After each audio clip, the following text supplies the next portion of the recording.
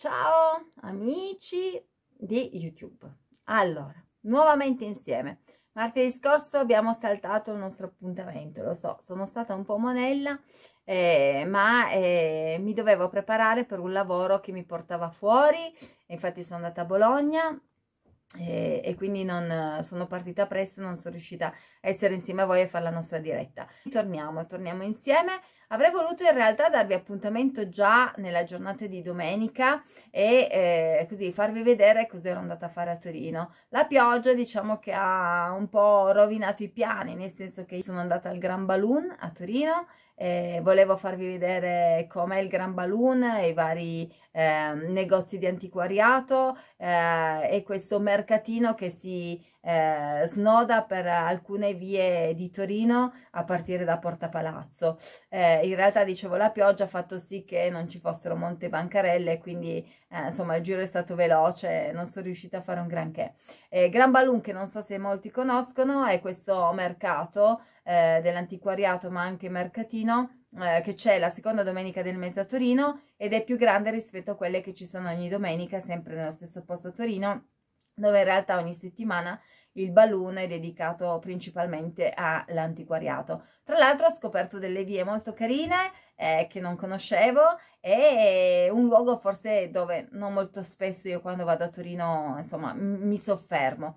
Eh, di lì poi insomma sono andata a mangiare eh, in un posto vicino a Porta Palazzo, ho mangiato le patate ripiene buonissime e, e poi sono andata a vedere Portici di Carta, questa bella manifestazione che c'è da un po' di anni che praticamente eh, vede il mondo dell'editoria locale non eh, tramite bancarelle messe tutti sotto i portici di Torino che partono da eh, praticamente la stazione di Porta Nuova, fanno tutti i portici e arrivano in Piazza Castello sia da un lato che dall'altro.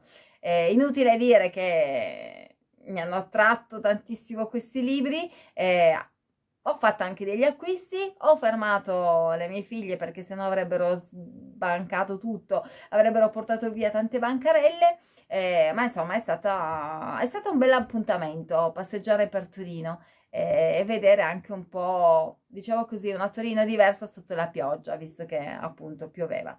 Eh, vi do appuntamento a parlare di cosa? Beh, intanto per parlare di roba vintage, quindi eh, al di là che io non sia riuscita a comprare niente, visto delle cose interessanti che mi hanno dato anche spunto per fare magari altre eh, operazioni, diciamo così, di marketing, no di marketing, ma operazioni personali eh, legate a hobby. Eh, dicevo quindi vintage, voi avete mai comprato in mercatini vintage cose di antiquariato non solo? Eh, vi piace immergervi in questi mercatini, cercare diciamo così eh, l'occasione giusta? Quindi magari siete di quelli che vanno al mattino presto perché si dice che al mattino presto ci si faccia, si, si acquistino i pezzi migliori e si riescano a fare offerte migliori. Magari potreste anche nella community postarmi qualche oggetto vintage che avete comprato e che avete tenuto in casa.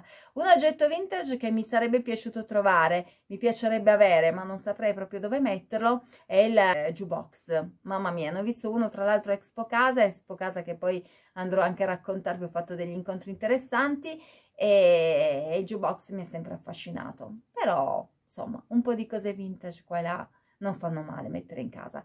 Quindi aspetto tutti voi, parleremo di questo e tanto altro. Da adesso vi saluto, vi mando un bacio e mi raccomando, se avete voglia nella community io aspetto anche le vostre foto. Ciao!